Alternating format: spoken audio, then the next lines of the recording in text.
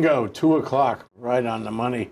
Okay, I'm Jay Fidell. This is Think Tech, and more specifically, this is the Community Matters series. That's because community does matter. Okay, we have Doorae Shin. Uh, this is her second time on Think Tech. Congratulations and welcome, Doorae. Thank you. It's been great. And uh, we want to talk to you about millennials today because we need to have a window, as we always do, on what the millennials are thinking because mm-hmm. they're going to save us. We need them to save us. and that includes you, Doorae. It's a lot of pressure. so we're going to talk about the politics of the millennials. Mm-hmm. So my first question is, do the millennials have politics? Are they into politics? Or are they turning their back on that? What's your view of it? I think that we're born into, in, in America, we're born into a government that fundamentally hasn't worked since we've been born. Um, and I think maybe past generations have experienced a better functioning government that took care of the people. But because of the corporate wealth gap and just income inequality and all the basic needs that aren't being met, um, like since we were born, I think that a lot of millennials and young people are feeling really disenfranchised and just disheartened. And they're not empowered. They don't know what's going on in politics and they would care to just forget about it because they feel really frustrated. So I think there's a lot of that going on um, in the hearts of millennials. Um, but I think there's also, with that, an opportunity to excite them and engage them in politics again if, if we do it the right way. Yeah, yeah serious. Okay, let me drill down a little bit on that. Are they voting? Um, I, I think that I think that right now we're in um, we're going in polarities. And I think that there's a group of millennials that are really engaged and excited and they're voting and they know that their vote matters and their voice matters. And I think there's a whole nother section just as large that are not voting. They think that nothing matters, that corporations run our country, and that politicians don't care about people. Um, and there's definitely some overlap between the two. And I think that there's um, really a, a I think that to me shows that there's such a huge opportunity for us to say like how do we get these voters to care again and realize that just the, those numbers alone could shift our entire government system um, just if those people realize that they, they do matter and that we do have the power to outnumber um, and outpower kind of the, the rich and powerful in our country today. You know, I asked a, a young woman in China one time, uh, whether she voted. And she said she didn't vote. She was smart. She didn't vote because she could only vote for the lowest level of official. Mm-hmm. And the way it, it's, a, it's a tiered pyramid, and then the lowest level of official votes for the next level, the mm. next level, the next level. Okay, she had no say in the selection of the premier. Yeah. Um, and she felt that uh, her vote was really not important. Yeah. And so it wasn't worth her time to do it. Right because the system had a life of its own, and she wasn't part of that life. Totally. Uh, how do how do millennials feel about that? Do they feel that this is you know the sort of corporate emergence or the corporate restructuring or mm, the corporate dominance, if you yeah. will, uh, in the marketplace of ideas is so strong that they'll never have a say, and that um, you're gonna you know give it up. There's no point. Just go with the flow. Uh, you find that. I think, yeah, and I think a lot of uh, millennials are just comfortable enough to not engage at all. And, you know, my dad always told me that there needs to be a certain threshold of suffering, as unfortunate as it may be, whether it's unemployment or an inability to pay the pay rent, something that's really uh, tangible and visceral for people before they start to realize that they need to get out on the streets and do something radical. Um, so yeah, I think that millennials are just comfortable enough. We're not at the point with climate change or economic inequality that there's a critical mass of suffering. And I wish that people would engage before we hit that critical mass, but I think sometimes we do have to wait for enough people to be suffering to really care and start to collectively unite around one message mm. and a mm. vision for the future. Mm. But you know, the, the word is that um, that this generation, your generation, is not going to do as well on the whole yeah. as the generation of your parents. Um, that you know, there's a sort of a, a, a diminution in uh, in um, in wealth and uh, influence and so forth. Um, do you believe that? Do the millennials believe that um, they are not going to be as franchised as powerful, as prosperous, as wealthy um, as the generation of their parents? I don't think that I don't think that we know those statistics and facts really well, but I do think that there's a sense that there's an increasing grip of power by mega corporations and industries.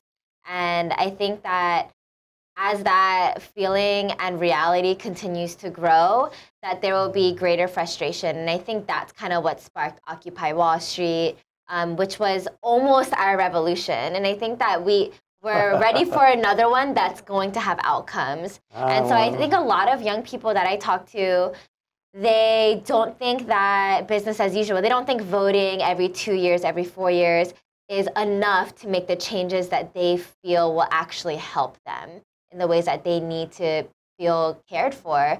So I think a lot of them are waiting for some kind of revolution, some kind of new leadership that's going to energize them to get out and vote, get on the streets, you know, build community and start asking for really big changes. So I think we're kind of on the precipice of something, but I think we're still in a uh, where I'm comfortable. I'm just gonna watch Netflix and be on my phone most of the time. Um, so I, I'm optimistic that we're getting somewhere, but I do feel we're not quite there yet. Mm.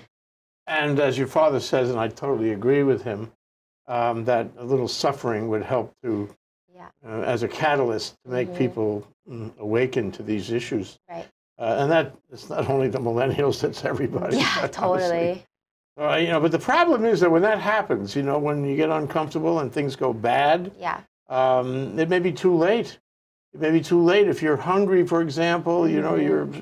you're susceptible, you're vulnerable, and maybe right. uh, you know you'll get confused about what you really want. I mean, this is not out of Les Mis, you know, where you have barricades in the street. It's not like that. Yeah.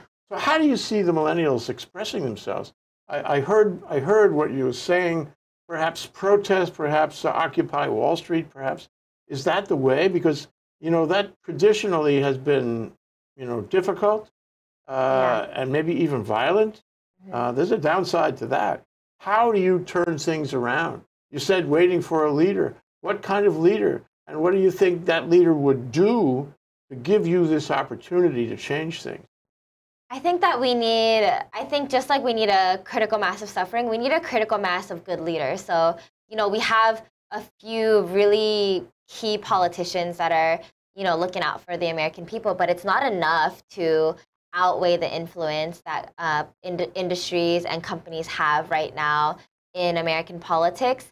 So I think that we need more than AOC and Bernie Sanders. You know, we need we need 10, 20, 30% of our leadership to be standing up for people um, and not compromising on our values. And then that will lead to the critical policy changes and government and maybe ca- campaign finance reform specific changes in the way our government is run and financed um, that will then allow all the other changes to happen. And one of those things is, of course, getting money out of politics.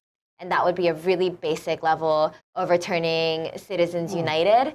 So something like that, like those key Green New Deal, those key things could be enough to shift you know the the 10 major issues we're facing today oh i'm glad and i want to dwell with you on that let's let's pick one that you mentioned, getting money out of politics. Yeah. I sure agree that money is is corrupting politics, has been corrupting politics for your lifetime and maybe longer. Right.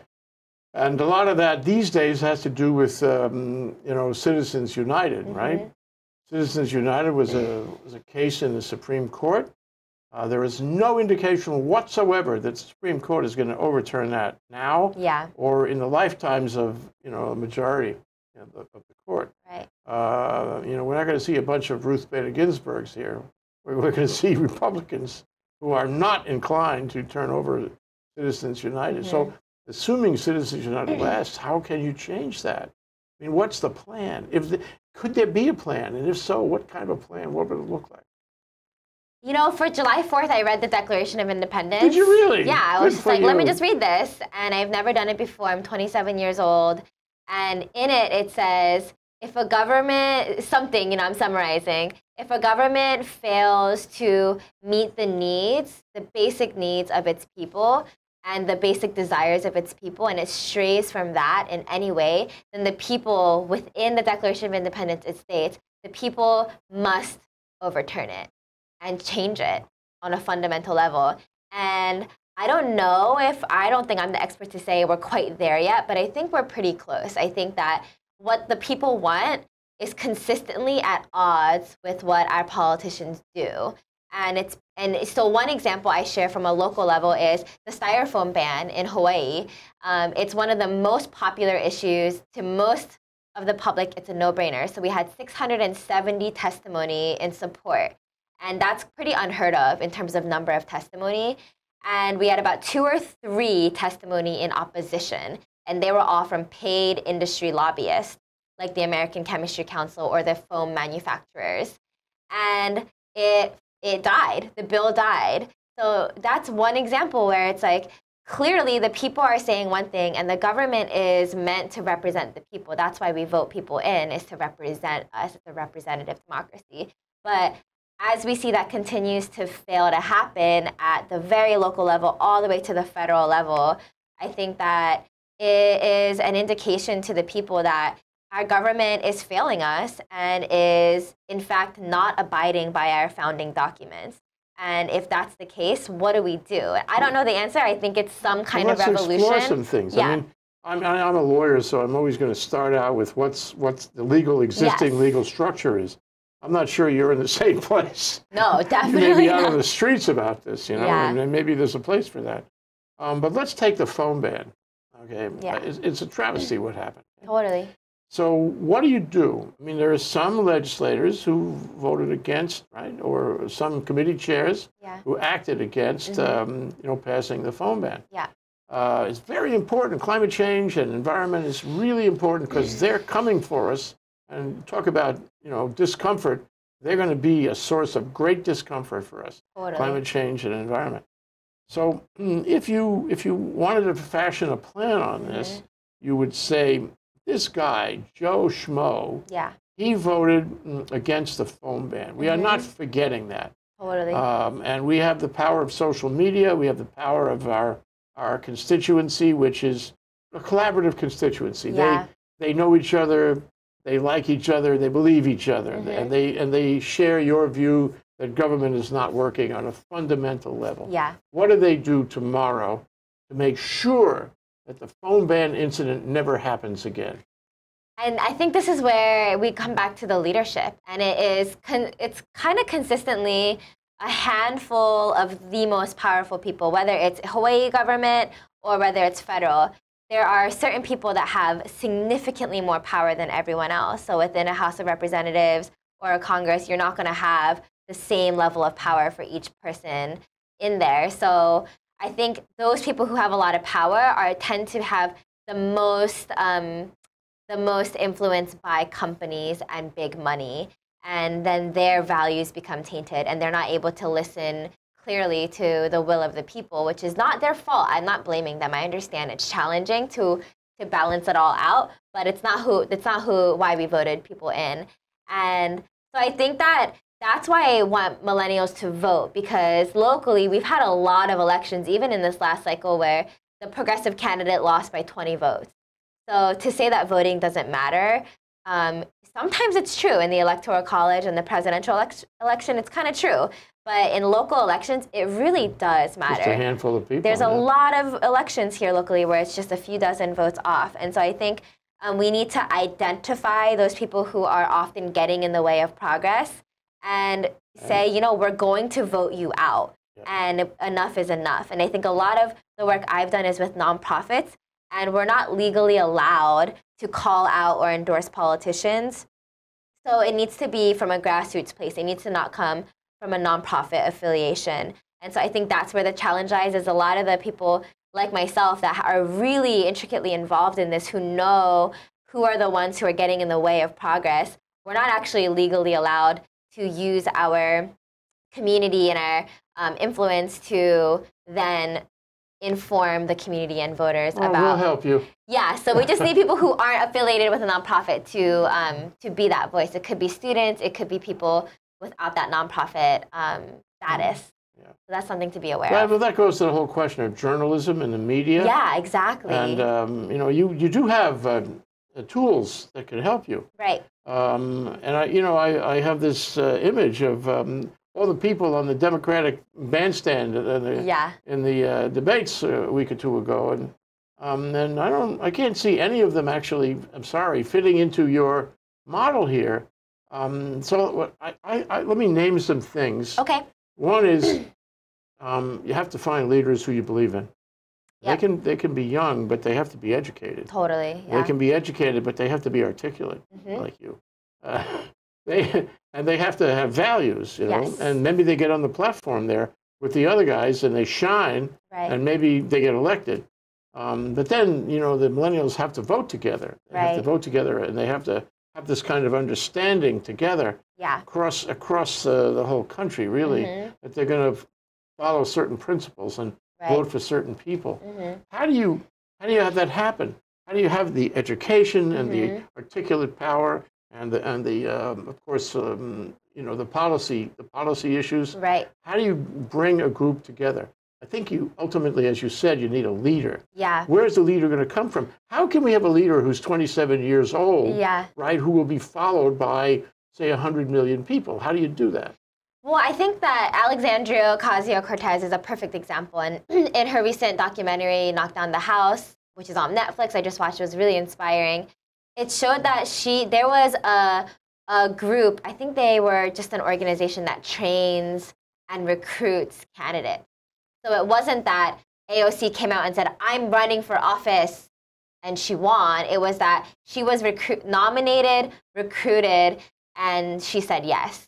And then she was heavily trained and supported by a group of experts who deeply understand how to win elections. And so I think it needs to be that strategic. You know, the civil rights movement, the women's rights movements, these movements didn't succeed because of a Rosa Parks or Martin Luther King. They succeeded because they were highly organized, highly strategic, and unified across the nation.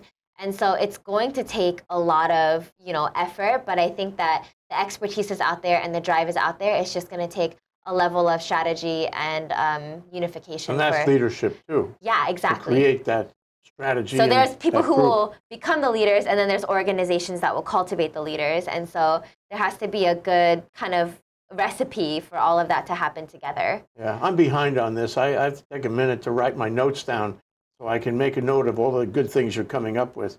We can take a one minute break, okay, Doorae? Sounds good. We'll come back and we'll continue. I have lots more questions. Awesome. All right. Aloha. I'm Daylan Yanagita, a host here at ThinkTech Hawaii, a digital media company serving the people of Hawaii. We provide a video platform for citizen journalists to raise public awareness in Hawaii. We are a Hawaii nonprofit that depends on the generosity of its supporters to keep on going. We'd be grateful if you'd go to thinktechhawaii.com and make a donation to support us now. Thank you so much.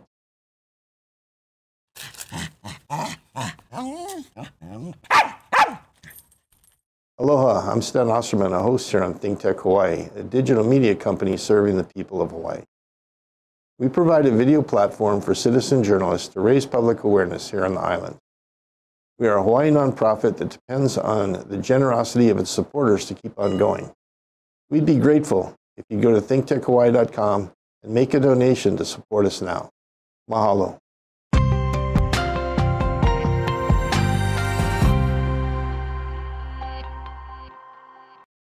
Okay, I made my notes. I'm, I'm straightened out a little bit now. I'm going to try to follow Doorae. Doorae Shin, our guest today, talking about millennials and politics. So, um, you know, we're skirting around the issue. Let's get to the center of things. What do you think about Trump? Uh, Trump has, I think Trump has psychological problems, and I don't think that's debatable. I think it's clear that if you look at a- a list of symptoms, he could clearly be diagnosed with being a pathological liar and a narcissist. And to me, that indicates where American people are at that not only do they maybe really support and love somebody like this, but that even if they think maybe he's not the best person in the world, that they're still willing to vote for him because he's something different. And so it's it's been a fascinating social experiment. Um, I think it's been terrible for a lot of reasons in which a lot of the decisions he's made has caused a lot of suffering to a lot of people and nature. Um, but I do think that this is part of the cycle of what happens when a country has become oppressed and uneducated. So I'm excited to see what happens in 2020. Well, I'm excited, but I'm also scared. Yeah. So yeah, I mean, so what does it take to beat him? Is everybody looking for a candidate mm-hmm. who can beat him? I mean, people like Harris uh, uh, because maybe she can beat him. They like uh, Elizabeth Warren, maybe she can beat him, and Biden, I'm not so sure he can beat him. But that's the test everybody applies. Yeah. It's like, I don't care about your policy. I want to know if you can beat Trump because we got to get him out of there. How do you feel about that? I think that's a big problem. I know. I think that if we only focus on beating Trump, then we ignore all of the issues that matter to people who are going to vote. And I think the more you ignore the issues that matter to people who will vote or not vote, that is going to affect turnout. And then you see that with when it was Clinton versus Trump and everyone thought Clinton was just going to win. And uh, the turnout was so bad that she lost. And now we have Donald Trump as our president. And so I think that the Democratic establishment has really failed its people um, by saying we're going to continue to prioritize the establishment candidate who's going to keep things essentially the same, but be really good at talking and saying the right talking points to try to relate but it's so inauthentic and and scripted that you know people my age and my group of friends turned off. they're turned off. They they don't relate to the candidates. They can tell it's inauthentic and scripted. They know it's an establishment candidate someone who's been in politics far too long to be values driven um, or somebody who's changed on so many issues that they're not trustworthy anymore. And so i think that we you know if we want to win and we want to really make the changes that we need to make, right? It's not just about winning, it's about making the changes we need to make. We need to pick somebody who's going to speak to people in an authentic and genuine way. And that's how I think the Democratic establishment has failed. And I think that's why Trump won because he, you know, as much as many of us might disagree with him, he is himself, you know, and that spoke to a lot of people. Oh, God, hard. it's true. But so, you know, remember Mr. Potato Man? Yeah. Um, so you, you make them any way you want. Yeah, yeah, right? yeah. And put the mouth and the eyes on it. So if I gave you a Mr. Potato Man uh, and I asked you to design a candidate yeah. who could deal with him, who would be appealing, um, and, and, who would be a good president, mm-hmm. uh, tell me all the characteristics of Mr. Potato Man or Miss Potato Man, as the yeah. case may be, uh, who could do that, who you would want to see yeah. up there on the stage, you know, in the final analysis. I think it's somebody who is consistent over time. You know, like they they have had values since the beginning and they largely haven't changed on them. That's really attractive, I think. And somebody who is compassionate and is, you know, leads with their heart and is not going to be influenced by money and hopefully doesn't take any or a lot of money from industry. And somebody who continuously stands up for people and the environment and values rather than trying to maintain the status quo. Because the status quo is you know what got us into all of the crises we find ourselves in today. So i think it needs to be you know all those things. And mm-hmm. somebody who's energetic and can energize a crowd you know like droves of people will come out to rallies for them because that means those people will come out to vote. And it's going to be a lot of new voters as well yeah, we, we need that for sure. Yeah. Um, but you know, um, you want to change a lot of things. I mean, one of the things that we all would like to see is a functional Congress, because Congress right now uh, yeah. is is dysfunctional. They can't pass anything, not even a, an infrastructure bill. It's really pathetic. Right. And we're paying all this money to have Congress, and you know, it's like they're all in breach I shouldn't say all, but the Republicans anyway, yeah. are in breach of their oath of office. Uh-huh. Uh, what kind of Congress would you like to see? What, what, what is your Mr. Potato Man on Congress? And Mitch McConnell. I, I think that, you know, the people right now in Congress, I think what's going on culturally in politics is that it, everything's about what party you're in. And so there's all this like loyalty, which just turns into like duality. So it's like if you know, AOC says one thing, every Republican must be against it. And there's no critical thinking involved. And I think that's a, such a disservice to our democracy because there's so many things that we're going to disagree on, no matter what. But there's, in the same vein, there's so many things that we can agree on. And climate change is a perfect example. There's no reason for climate change to be a partisan issue. There's plenty of conservatives, Tea Party people, Republicans who understand that our environment is impacted by human activity and that it's a win win win situation to address it and to make positive changes around it. But the fact that it's become partisan and a lot of that has to do with money and politics, you know, undermines the ability for any work to get done because it's like high school. It's like, oh, we're just going to fight with each other and be committed to disagreeing rather than being civil and saying, let's have a conversation. And I think that starts with, you know, me and you and saying, I'm willing to reach out to someone that has an uncomfortable viewpoint. And I'm willing to have civil discussions, whether they're in person at the coffee shop or on Facebook. And I think America really needs to work on this, you know, yeah. from the individual level to the governmental level and say, I'm going to talk to people I disagree with and, and conclude those conversations in what we can agree on and at least do those things. Because otherwise, we're in a completely inefficient system where no one's listening to each other. This requires some real work because yeah. not only you know is the burden to try to get your generation together yeah. and focus on these issues, but it's also there are people who would oppose that, people who would create divisiveness, and I firmly believe that yeah. there was some attempt at um, at, rele- at, at um, leaking the cable from the, the British ambassador you know, yeah. Uh, so that uh, there would be a, a, fight now, and there is a fight. Not only is it between the ambassador and uh, and Trump, mm-hmm. but it's between Britain and the U.S. You know, yeah. what a great maneuver to create divisiveness. The point is that um, there are people around who would oppose everything you're talking about and try to divide your group, yeah. divide your millennials, right. so that they were, you know, uh, neutralized and, totally. and, could not do what they mm-hmm. had hoped to do. Um, the question is whether the millennials can stick together despite those efforts, whether they're sophisticated enough right. to realize when they're being worked and manipulated. Yeah. What do you think? Yeah, I think divide and conquer is a classic strategy of people in power. And I and I just imagine like these people in these ivory towers and they're laughing at all the people below who are fighting with each other and not looking up.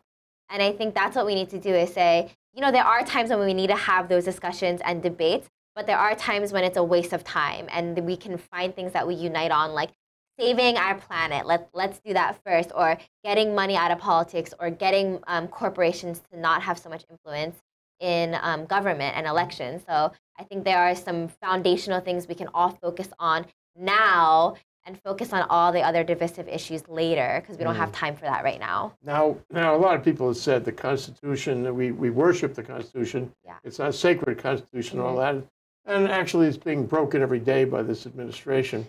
Um, and arguably, it needs to be fixed. It needs to be fixed, perhaps, perhaps on the electrical, electrical, the electoral college. Yeah. Uh, and you know, and, and various other points that have come up that have been stressed uh, that that you know have demonstrated a weakness in light of um, recent events. So, what do you think about that? How would you like to see the Constitution changed, and how would you propose it be changed?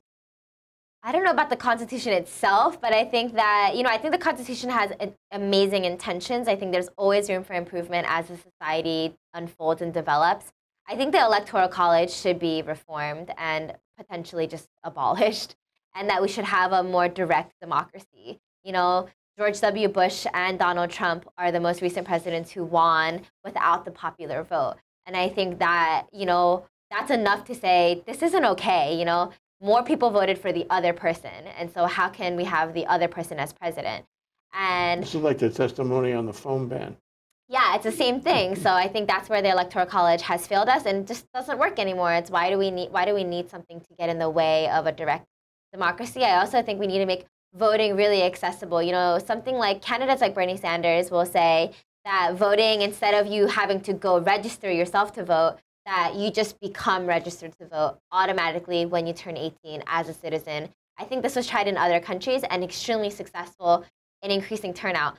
We're lazy. Millennials, I'll speak for us especially, we're much lazier than previous generations and um, we sit on our computers a lot and our phones and we don't move and so if there's a barrier to entry for anything online shopping, whatever it is, we're not going to do it. You know, things need to be put in our face, and that's why I think we need to be automatically registered to vote. We need to be able to online vote as, as long as we can make that safe um, from being rigged. And so those are some of kind of the basic things we need to do to, to increase turnout and make it as easy and accessible as possible for everyone to vote.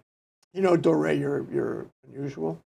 Not, not everybody I know who is your age and you know background uh, is as articulate or forceful or thoughtful about these issues and committed to, to doing something about it. But you know, my, my question to you is my last question. what are you going to do about it? Yeah, yeah, yeah, but what are you going to do about it? How do you see yourself participating in, in activities, events, programs, and the like that will actually bring about the changes you would like to see?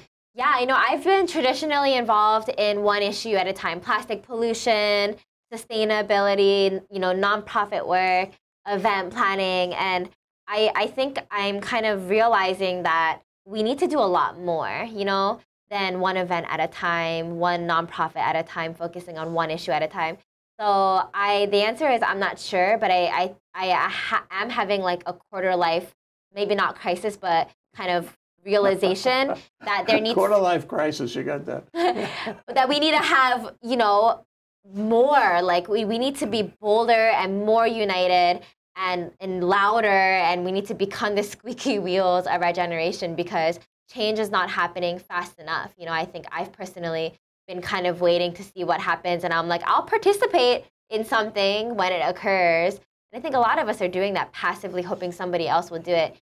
And I think that a lot of leaders like Greta Thunberg and AOC have inspired me and a lot of other young people to say, you know, maybe we're the ones we've been waiting for and we need to become those leaders. We are the ones we've been waiting for. It's cliche, but it's, I think it's true and we need to step up and do more. But I, I don't know what that looks like quite yet. Okay, all right, we got to check back with you. But I, but I get is that this is not, this, your view of this is not limited to the state of Hawaii.